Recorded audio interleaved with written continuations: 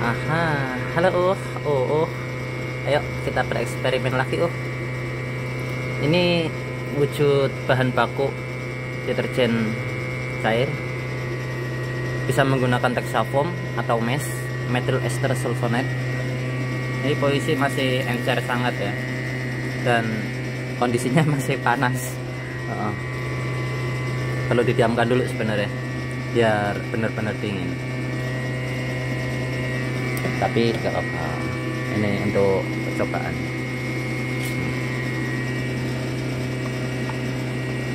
Dari bahan baku bisa ditambahkan foam booster. Fungsi foam booster sebagai pengental sekaligus menambah busa agar busa lebih melimpah.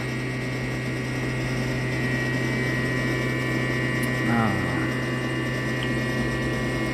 Terus untuk menambah bersih dalam mengangkat noda ya kotoran yang membandel yang bandel-bandel itu bisa ditambahkan NaCl kalau nggak ada NaCl NaCl itu garam industri.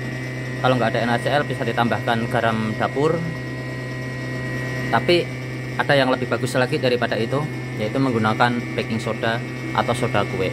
Emang baking soda dan soda kue itu serupa tapi tak sama.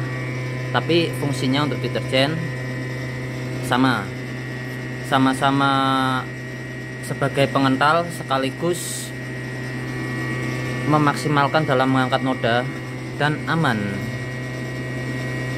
Seperti untuk proses pencucian emas itu juga bisa. Emas kuningan tembaga. Nah itu bisa dicuci menggunakan baking soda atau soda kue. Nah aduk aduk aduk aduk aduk. Kalau soal warna sama aroma sesuai selera karena bikin sendiri ya suka-suka yang bikin. Ini teksturnya udah lebih kental daripada yang tadi tadi encer banget kan. Aduk aduk aduk aduk aduk aduk terus. Ini harusnya nunggu dingin cuman ini buru-buru pengen coba bikin video. Hmm. Teksturnya udah jauh lebih kental daripada yang tadi. Ini kondisi panas aja udah kental gini. Ini kalau dingin dingin terlalu kental ini. Oke. Kalau untuk aroma nah ini yang aku suka parfum brownie. Enak sedap. Kalau soal bersih sama busanya hmm nggak perlu diragukan lagi 6 kilo bahan baku untuk 100 liter. Yang tadinya mau 80 liter tak ganti ke ember gede. Kapasitas 100 liter. Oke. Lanjut aduk lagi.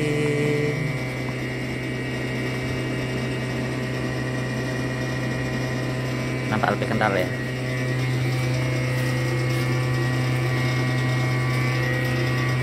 soal bisa oke kita tes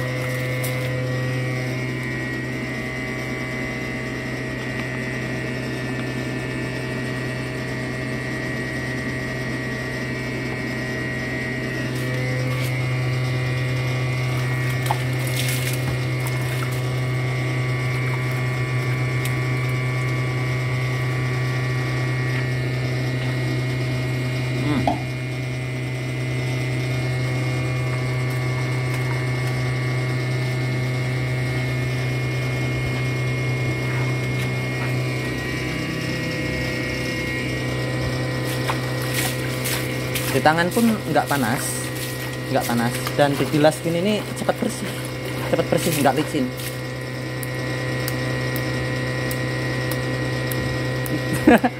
Kalah keras sama suara mesin tuh. Oh. eh, lanjut dulu